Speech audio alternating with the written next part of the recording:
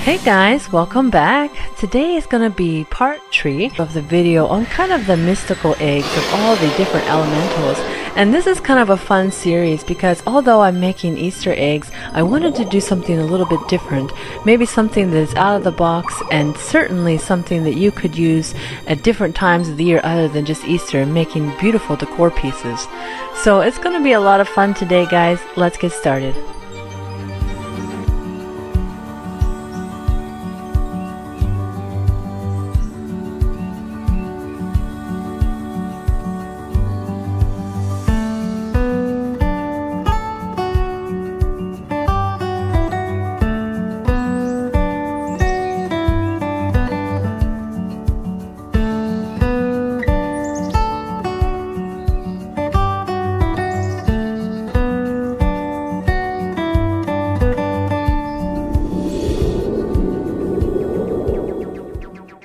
So the first egg was a lot of fun, this galactic style Easter egg, and this is something that could certainly fit into the children's room with all of their space theme, um, but it, or anywhere really, but it's just such a neat and beautiful egg. And so I started this egg off by just painting it black, um, but I mixed in some blues and also some purples in certain areas of the egg to give it a little bit more dimension to the black and also to give a little bit of light to the areas where I was going to add a lot of stars.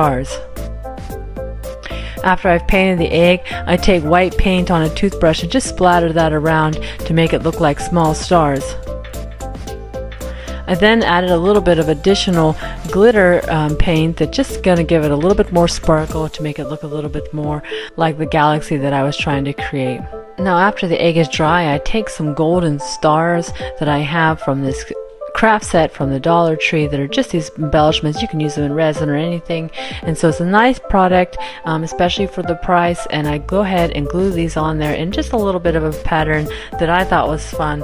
Um, but you can put them on there in any way that you like. So I had this beautiful planetary pin with all the rhinestones on it. And so I had the idea to take this small acrylic box and just add that to the bottom of this to create somewhat of a little jewelry box. And so I thought that that was a really cute idea because then it's almost like a little display piece as well. And then of course on top I added this little UFO, but to pull in a little bit of uh, interest from the galactic pin that I have there, I wanted to make sure to add some gemstones to the UFO as well, just to kind of cause a little bit of cohesiveness. And I think that the overall result is very sweet. Definitely a little bit out of this world for those of you who like alternative things.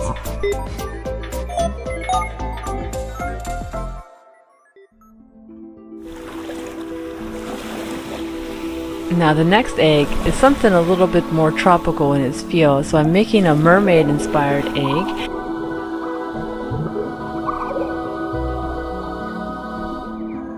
And so what I did was I took that wooden egg and I did an acrylic pour with blue paint around the bottom. And this is a really good technique because it's an easy way to get an ocean or water feel or look.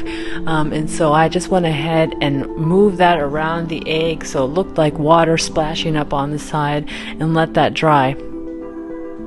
Then on top of the egg, I took some of seashells I had from a recent trip and just actually stood those up on top and like a display piece and then I added some beautiful blue beads to the inside of that seashell as if it was a little treasure cove.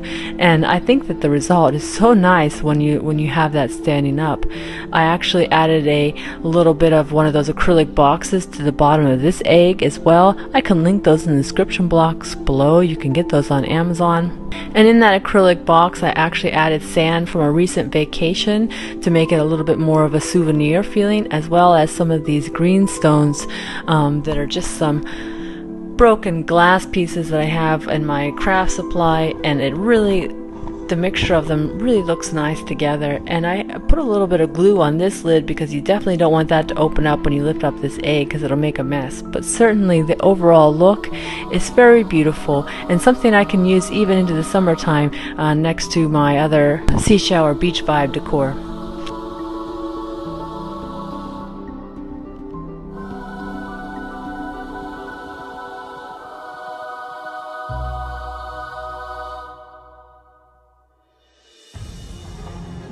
And this last egg was a fun project and it was a little bit inspired by this black and gold egg that I made last year, that jumbo egg that reminds me of a dragon's egg.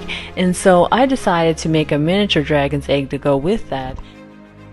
What I did was paint that with a gold and also a black and just a, an alternate um, geometric type of pattern. And then what I did was I went ahead and added my egg up on a stand and so I used a gold lid off of an old container and then I put that on a wooden base as well just to make sure that that was going to have a an elegant appearance. Those wooden rounds, by the way, I always find those at Hobby Lobby. They typically have them in seasonal, especially after um, after fall and so just keep an eye out for you know the springtime and fall time decor there because they always have things like that and they're always left over because no one knows what to do with them but I use them in a bazillion ways for craft projects. So after I have the base applied I want to add this really pretty crystal stone that I have is pyrite and I'm going to put that on the the base and then I am going to be adding the dragon that I painted on top of that. And so this little dragon was actually blue and white and I added some black to him just to make it look a little bit more cohesive and less like a toy and I added some gold tips to the wings as well as a little gold bead in the mouth because I didn't want it to look like a little plastic toy. I wanted it to look like maybe a little metal a dragon or something like this um, that I added to the piece. And I think by cha changing the color of it and painting it black really achieved that look.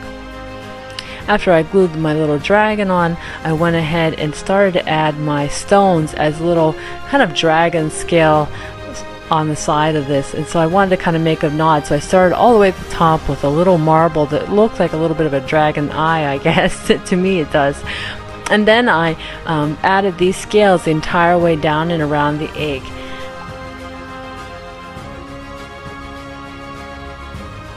After I have my scales on, I do add a little bit of the gold paint to the tips. As well, I took a, another gemstone that was clear and I added some gold paint to the back with a little bit of black to make it look like an eye. And I added that to the egg as well. And so one of the things that I did with this egg is all these things are somewhat suggestive of a dragon egg, but not necessarily you know, like I was painting a dragon on the egg. So I like that about it. I think that it's a very interesting piece and certainly will look really cool next to that black and gold egg.